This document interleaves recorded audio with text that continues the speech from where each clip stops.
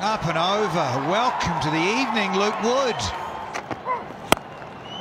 Up, up, and away. He has now. And this one on the leg side, it's a short boundary out there. This will go all the way. Just shows how well they started, and that's going to be two in two. KC hits it on the ground most of the time. And this is another boundary. Oh, this one's gone a long way. This is definitely six of them. In the T10.